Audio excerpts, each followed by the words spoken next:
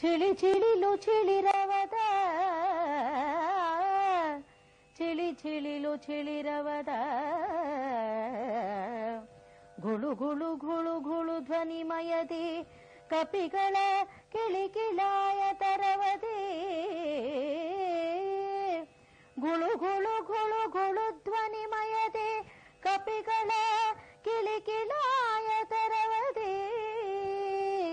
ಮೃಗ ಸಂಕುಳದ ಕಳಕಳದಿ ಇಳಿದಿರಿವ.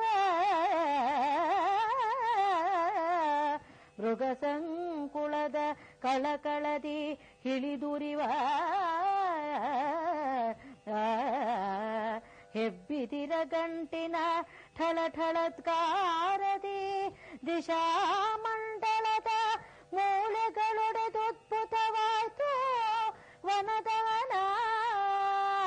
ದಿಶಾ ಮೂಲೆಗಳೊಡೆದು ಅದ್ಭುತವಾಯ್ತು.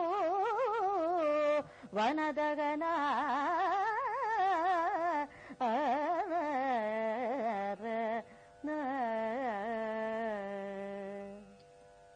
ಅದ್ಭುತವಾಯಿತು ವನದಹನ ಅಂತ ಇರೋದ್ರಿಂದ ಇದು ಕಾಂಡವ ವನದ ದಹನದ ಸಂದರ್ಭ ಅನ್ನೋದು ಸಹೃದಯರಿಗೆ ಅರ್ಥವಾಗುತ್ತೆ. ಕುಮಾರವ್ಯಾಸ ಭಾರತದ ಇಪ್ಪತ್ತನೇ ಸಂಧಿಯ ಐವತ್ತೇಳನೇ ಪದ್ಯದಲ್ಲಿ ಈ ಕಾಡನ್ನ ಆವರಿಸಿದ ಬೆಂಕಿಯ ಪ್ರತಾಪದ ಚಿತ್ರ ಇದೆ. ಶಬ್ದಗಳಲ್ಲೇ ಅದನ್ನು ಕೊಡ್ತೀನಿ. ಏನು ಮಾಡಕ್ ಆಗೋದಿಲ್ಲ ಅವನಿಗೆ. ಅದ್ಭುತವಾಯ್ತು ವನದ ಅಂತ ಅವನೇ ಹೇಳಬೇಕಾಯ್ತು. ಯಾವ್ಯಾವ ವಸ್ತು ಹೇಗೆ ಶಬ್ದ ಮಾಡುತ್ತೆ?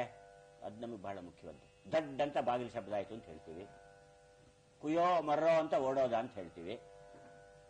ಝುಮ್ ಅಂತ ವಿಮಾನದಲ್ಲಿ ಹೋದ್ರು ಅಂತ ಹೇಳ್ತೀವಿ.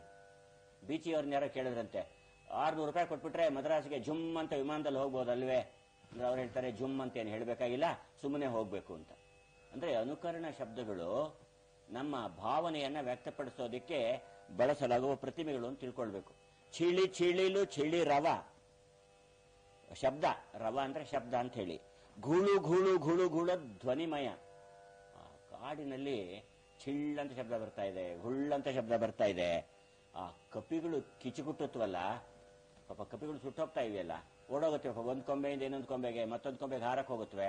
ಅದ್ರ ಅಲ್ಲೂ ಬೆಂಕಿ, ಇಲ್ಲೂ ಬೆಂಕಿ. ಈ ಗೊಂದಲದ ವಾತಾವರಣದಲ್ಲಿ ನಮ್ಮ, ನಾವ್ ಹೇಗೆ ನಡೆಸ್ತೀವಿ? ಎಷ್ಟೋ ಸಲ ದೊಡ್ಡ ಬಸ್ ಆಕ್ಸಿಡೆಂಟ್, ಟ್ರೈನ್ ಆಕ್ಸಿಡೆಂಟ್ ಆದಾಗ ಬೇಕಾದ್ರೆ ನಿಂತಿರೋರ ಮೇಲೆ, ಕುಳಿತಿರೋರ ಮೇಲೆ ತುಳ್ಕೊಂಡು ಹೋಗ್ಬಿಡ್ತಾರೆ ಜನ. ತಾವು ಮೊದಲು ತಲುಪಬೇಕು ಅಂತ ಹೇಳ್ಬಿಟ್ಟು. ಬಾಗಿಲನ್ನು ತಲುಪಬೇಕು ಬದುಕೋಬೇಕು ಈ ಬದುಕಬೇಕು ಅನ್ನೋ ಆಸಕ್ತಿ ಇರುವಾಗ ನೀವು ಏನ್ ಶಬ್ದ ಮಾಡ್ತೀರಿ? ಗೊತ್ತಾಗುತ್ತೆ. ಹಾಗೆ ಕಪಿಗಳ ಕಿಳಿಕಿಳಾಯತರವ, ಅವುಗಳ ಶಬ್ದ ಮೃಗ ಸಂಕುಳದ ಕಳಕಳ ಪಾಪ ಜಿಂಕೆಗಳು ಆಗ್ಬೋದು ಮೃಗ ಸಂಕುಳ ಅಂದ್ರೆ ಅನೇಕ ಬಗೆಯ ಪ್ರಾಣಿಗಳಿದ್ವಲ್ಲ ಅಲ್ಲಿ. ಅವೆಲ್ಲ ಹೇಗೆ ಕಿರಿಚ್ಕೋತಾ ಇವೆ? ಹಿಳಿದುರಿವ ಹೆಬ್ಬಿದಿರು, ಆ ಭಾರಿ ಭಾರಿಯ, ಕಾಡಿನಲ್ಲಿ ಯಾವಾಗಲೂ ಕೂಡ ಬಿದಿರಿನ ಮೆಳೆಗಳು ಬಹಳ ದೊಡ್ಡ ಪ್ರಮಾಣದಲ್ಲಿ ಬೆಳೆದಿರುತ್ತೆ. ಈಗಲೂ ಆನೆಕಾಡ್ ಅಂತ ಮಡಿಕೇರಿ ಬೆಳೆಯಿದೆ ಅಲ್ಲಿ ದೊಡ್ಡ ಕಾಡಿತ್ತು ಹಿಂದೆ ಅಲ್ಲಿ ಬಿದಿರುಗಳು ರಾಶಿ ಹಾಗೆ ಬೆಳೆದಿತ್ತಂತೆ. ಆ ಬಿದಿರಿನ ರಾಶಿ ಅದ್ರ ಗಂಟಿರುತ್ತಲ್ಲ, ಆ ಗಂಟು ಒಡೆದಾಗ ಠಳ ಠಳತ್ಕಾರದೆ ಆ ಶಬ್ದಗಳನ್ನ ಸರಿಯಾಗಿ, ಔಚಿತ್ಯಪೂರ್ಣವಾಗಿ, ಆ ಧ್ವನಿಯನ್ನ ಅನುಕರಿಸುವ ರೀತಿಯಲ್ಲೇ ಆ ಹೆಬ್ಬಿದರಿನ ಮೆಳೆಗಳು ಹೇಗೆ ಒಡಿತವೆ ನೋಡಿ, ಅದನ್ನ ಠಿಳಿ ಠಿಳಿತ್ಕಾರದಿ. ಅಂದ್ರೆ ಕೇಳಿದಾರೆ ಅದನ್ನೆಲ್ಲ ಸ್ಪಷ್ಟವಾಗಿ ಇಂತಹ ಚಿತ್ರಗಳು ಅವನ ಮನಸ್ಸಿನಲ್ಲಿ ನಿಂತು ಬಿಟ್ಟಿವೆ ಅದರಿಂದ ಹೇಳ್ತಾನೆ, ಹೀಗೆ ದಿಶಾಮಂಡಲದ ಮೂಲೆಗಳು ಒಡೆದವು. ಏನು ದಿಕ್ಕು ದಿಕ್ಕುಗಳ ಮೂಲೆಗಳು ಒಡೆದು ಹೋಗ್ಬೇಕು. ಆ ರೀತಿಯಲ್ಲಿ ಶಬ್ದ ಆಗ್ತಾ ಇದೆಯಂತೆ ಒಂದು ಸಣ್ಣ ಟೈರ್ ಬರ್ಸ್ಟ್ ಆದ್ರೆ ಬಸ್ಸಿಂದು ನಮಗೆ ಎಷ್ಟು ದೂರದ ಕೇಳಿಸುತ್ತೆ ಅದನ್ನ. ಆದ್ರೆ ಈ ದೊಡ್ಡ ಅನಾಹುತ ಆದಾಗ ಆ ಪ್ರಾಣಿಗಳ, ಆ ಚೀತ್ಕಾರ, ಆ ಮರಗಳು ಮುರಿದು ಬೀಳುವ ರೀತಿ, ಆ ಬೆಂಕಿ ಹರಡಿದ್ದು, ಕಪಿಗಳು ಕಿರ್ಚಾಡಿದ್ದು ಮೃಗ ಸಂಕುಲದ ಬೇನೆ ಎಲ್ಲವೂ ಕೂಡ ಸೇರಿ ದಿಶಾಮಂಡಲದ ಮೂಲೆಗಳು ಒಡೆದವು. ಹತ್ತು ದಿಕ್ಕು ಇದೆಯಲ್ಲ, ಎಲ್ಲ ದಿಕ್ಕುಗಳ ಮೂಲೆಗಳು ಒಡೆದೋಗ್ಬಿಟ್ಟುವಂತೆ ಹೀಗೆ ಅದ್ಭುತವಾಯಿತು ವನದಹನ. ಕ್ಯಾಂಪ್ ಫೈರ್ ಅನ್ನ ವರ್ಣಿಸೋ ಹಾಗೆ ಇವನು ಇದನ್ನು ವರ್ಣಿಸ್ತಾ ಇದ್ದಾನೆ. ಅಂತಹ ದೊಡ್ಡ ಆಕ್ರಮಣಕಾರಿಯಾದ ಅಗ್ನಿಯ ತೇಜಸ್ಸಿನ ಸ್ವರೂಪವನ್ನ ಇಲ್ಲಿ ಕವಿ ತೋರಿಸ್ತಾ ಇದ್ದಾನೆ. ಮುಂದೆ ನಾವು ಕಥೆ ಭಾಗಕ್ಕೆ ಬರ್ತೇವೆ. ಇಷ್ಟಾದಾಗ ಅಲ್ಲಿ ನಾನು ಮೊದಲೇ ಹೇಳಿದೆ. ಮರಗಳಲ್ಲದೆ ಪಕ್ಷಿ ಪ್ರಾಣಿಗಳಲ್ಲದೆ ಕಪಿಗಳಲ್ಲದೆ ಸರೋವರದ ಮೀನುಗಳಲ್ಲದೆ ಇನ್ನು ಕೆಲವರು ಇದ್ರು ಅಲ್ಲಿ. ಸರ್ಪಗಳು ಆಮೇಲೆ ಬರ್ತೇನೆ. ಸರ್ಪಗಳು ಕೆಳಗಡೆ ಇರ್ತವೆ ಆ ಬೆಂಕಿಯ ಹೊಗೆ ಅಲ್ಲಿಗೂ ತಾಕಿ ಅವು ಹೇಗೆ ಬಂದು ಅನ್ನೋದು ಚಿತ್ರ ಬರುತ್ತೆ.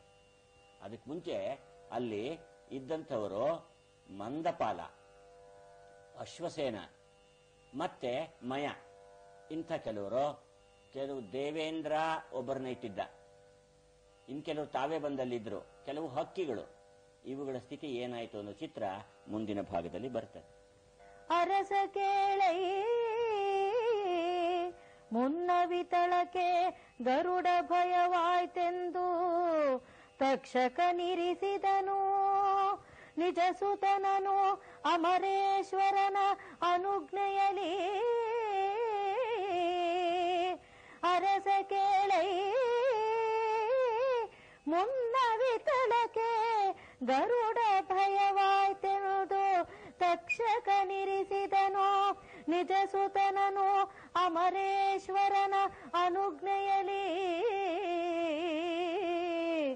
ಇರಲಿರಲು ಸುತರಾದರಾತಂಗೆ, ಉರಗವಂಶದೊಳು ಅಶ್ವಸೇನಗೆ. ಇರಲಿರಲು ಸುತರಾದರಾತಂಗೆ ಅಶ್ವಸೇನಗೆ ಹಿರಿದು ಹೆಚ್ಚಿತು ತಕ್ಷಕನ ಸಂತತಿ ವನಾಂತದಲ್ಲಿ. ಏ.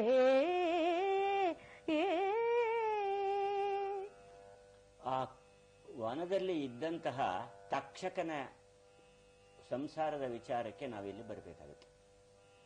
ಇದು ದೊಡ್ಡ ಕಥೆ ಇದು. ಮಹಾಭಾರತದಲ್ಲಿ ವಿಸ್ತಾರವಾಗಿ ಇದರ ವರ್ಣನೆ ಬರ್ತದೆ. ಅರಸ ಕೇಳೈ, ಮುನ್ನ ವಿತಳಕ್ಕೆ ಗರುಡ ಭಯವಾಯಿತು ಎಂದು ತಕ್ಷಕನ್ ಇರಿಸಿದನು ನಿಜಸುತನನು.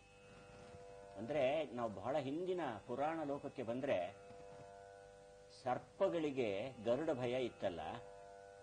ಯಾಕೆಂದ್ರೆ ತಮ್ಮ ತಾಯಿಯನ್ನ ತುಂಬಾ ಗೋಳಿಕೊಂಡಿದ್ರು ಸರ್ಪಗಳು ಅನ್ನೋ ಕಾರಣಕ್ಕೆ ಅವನು ತುಂಬಾ ಕಿರುಕುಳ ಕೊಡ್ತಾ ಇದ್ದ. ಸರ್ಪಗಳೆಲ್ಲ ನುಂಗ್ತಾ ಇದ್ದ. ಕೊನೆಗೆ ನಾಗಾನಂದ ನಾಟಕದಲ್ಲಿ ಇದನ್ನೊಂದು ವಸ್ತು, ಅಹಿಂಸೆಗೆ ಒಂದು ವಸ್ತುವನ್ನೇ ಮಾಡ್ಕೊಳ್ಬೇಕಾಯ್ತು. ಆಗ ತಕ್ಷಕನು ವಿತಳಕ್ಕೆ ಗರುಡ ಭಯವಾಯಿತೆಂದು ಇರಿಸಿದನು. ಪಾತಾಳ ಲೋಕದಲ್ಲಿ ಇರಿಸಕ್ ಹೋದ ಇವನನ್ನ, ತನ್ನ ಮಗನನ್ನ ಅಲ್ಲಿ ಇರಿಸಿದ. ಅದಕ್ಕೆ ದೇವೇಂದ್ರನ ಅಪ್ಪಣೆಯನ್ನು ತೆಗೆದುಕೊಂಡ. ಸ್ವಲ್ಪ ಕಾಲ ಆದ್ಮೇಲೆ ಈ ಗರುಡನ ಕಾಟ ಸ್ವಲ್ಪ ಕಡಿಮೆ ಆಯಿತು ಅಂತ ಅನಿಸಿದ ಮೇಲೆ ತನ್ನ ಮಕ್ಕಳು ಮರಿಗಳನ್ನೆಲ್ಲ ಮೇಲೆ ಖಾಂಡವನಕ್ಕೆ ತಂದು ಅಲ್ಲಿ ಪೋಷಿಸಬೇಕು ಅಂತ ಮನಸ್ಸು ಮಾಡ್ದ. ಅದರಿಂದ ಅಮರೇಶ್ವರನ ಅನುಜ್ಞೆಯಲ್ಲಿ, ಅಂದ್ರೆ ಇಂದ್ರನ ಅಪ್ಪಣೆಯನ್ನು ಪಡೆದು ಅವನಿಗೆ ತುಂಬಾ ಬೇಕಾದವನು ತಕ್ಷಕ ಇಂದ್ರನಿಗೆ. ಮುಂದೆ ಜನಮೇಜಯ ಯಾಗವನ್ನು ಮಾಡೋ ಸಂದರ್ಭದಲ್ಲಿ ಕೂಡ ಇದು ಬರ್ತದೆ. ತಕ್ಷಕ ಮತ್ತು ಇಂದ್ರ ಇವರ ಸ್ನೇಹ ಬರ್ತದೆ. ಅಮರೇಶ್ವರನ ಅನುಜ್ಞೆಯಲ್ಲಿ ಇದ್ದಾಗ ಹೀಗಿರಲು ಸುತರಾದ ರಾತಂಗೆ ಅವನಿಗೆ ಅನೇಕ ಮಕ್ಕಳು ಹುಟ್ಟಿದ್ರು. ಆ ಉರಶ ವಂಶದೊಳಗೆ ಅಂತಹ ಸರ್ಪ ವಂಶದಲ್ಲಿ ಒಬ್ಬ. ಇಲ್ಲಿ ನಾವು ಹೇಳಬೇಕಾದ್ದು, ಪುರಾಣ ಕಾಲದಿಂದ ಇಲ್ಲಿವರೆಗೆ ಬಂದ್ರೆ ಆ ವಂಶದಲ್ಲಿ ಉಳಿದವನು ಅಶ್ವಸೇನ ಅಂತೇಳಿ ಅಶ್ವಸೇನೆಗೆ ಹಿರಿದು ಹೆಚ್ಚಿತು. ತಕ್ಷಕನ ಸಂತತಿ ವನಾಂತದಲ್ಲಿ. ಈ ಕಾಡಿನ ಭಾಗದಲ್ಲಿ ಆ ತಕ್ಷಕನ ಸಂತತಿ ಹೇಗೆ ಬೆಳೀತು ಅನ್ನೋದರ ಚಿತ್ರವನ್ನು ಕೊಡ್ತಾ ಇದ್ದಾನೆ. ಇದು ಸರ್ಪದ ಪ್ರತಿಮೆಯನ್ನ ಕುಮಾರವ್ಯಾಸ ಬಳ, ಬಳಸ್ಕೊಂಡಿರೋ ರೀತಿಯನ್ನ ನಾನು ಸ್ವಲ್ಪ ಮುಂದೆ ಹೇಳ್ತೇನೆ ಅದರ ವಿಚಾರವನ್ನ. ನಮ್ಮ ಕನ್ನಡ ಕಾವ್ಯಗಳಲ್ಲಿ ಸಂಸ್ಕೃತದಲ್ಲಿ ಮತ್ತೆ ಗ್ರೀಕ್ ಕಾವ್ಯಗಳಲ್ಲಿ ಈ ಸರ್ಪದ ಪ್ರತಿಮೆ ಬೇರೆ ಬೇರೆ ಸಂದರ್ಭಗಳಲ್ಲಿ ಬರುತ್ತೆ. ಜಾನಪದದಲ್ಲೇ ಬೇರೆ ಅರ್ಥದಲ್ಲಿ ಬರುತ್ತೆ. ಇಲ್ಲಿ ಮುಂದಿನ ತನಕ, ಯಾಕೆ ನಾನು ಈ ಪ್ರಕರಣ ಹೇಳ್ತಾ ಇದ್ದೀನಿ ಅಂದ್ರೆ ಈ ಸರ್ಪ ಸತ್ತದ್ದು ಇಲ್ಲಿಗೆ ಮುಗಿಯೋದಿಲ್ಲ. ಅರ್ಧಾವಲೀಕ ಅಂತ ಅದ್ರ ಹೆಸರು. ಅಶ್ವಸೇನನ ಮಗು, ಅದು ತಾಯಿಯನ್ನು ಕಾಪಾಡಕ್ಕೆ ಹೋಗ್ತಾಳೆ ಅನ್ನೋ ಮಾತು ಬರ್ತದೆ. ಆದ್ರೆ ಒಟ್ಟಿನಲ್ಲಿ ಸರ್ಪ ಮತ್ಸರ ಅನ್ನೋ ಶಬ್ದ ಹುಟ್ಕೊಳ್ಳೋದಕ್ಕೆ ಕಾರಣವಾದಂತಹ ಒಂದು ಘಟನೆ ಇಲ್ಲಿ ಬರುತ್ತೆ. ತಕ್ಷಕ ಗರುಡನ ಭಯಕ್ಕೆ ತನ್ನ ಮಕ್ಕಳನ್ನ ಪಾತಾಳದಲ್ಲಿರಿಸಿದ್ದ, ಆಮೇಲೆ ಸಂತತಿಯನ್ನ ಇಂದ್ರನ ಅಪ್ಪಣೆಯಂತೆ ಕಾಂಡವವನ, ಕಾಂಡವ ಅಂದ್ರೆ ಇಂದ್ರಂದೇ ಅದು ವನ, ಕಾಂಡವನದಲ್ಲಿ ಇರಿಸಿದ್ದ. ಅಲ್ಲಿ ನಡೆದಂತಹ ಒಂದು ಘಟನೆಯನ್ನ ಕವಿ ಇಲ್ಲಿ ಹೇಳ್ತಾ ಇದ್ದಾನೆ.